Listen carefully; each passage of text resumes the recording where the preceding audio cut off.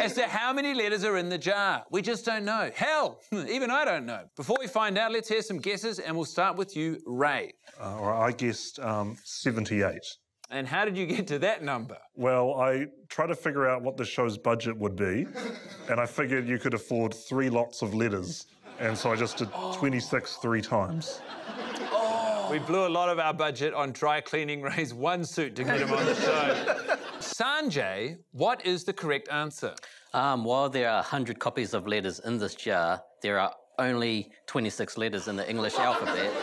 So obviously the answer is 26. 26 letters.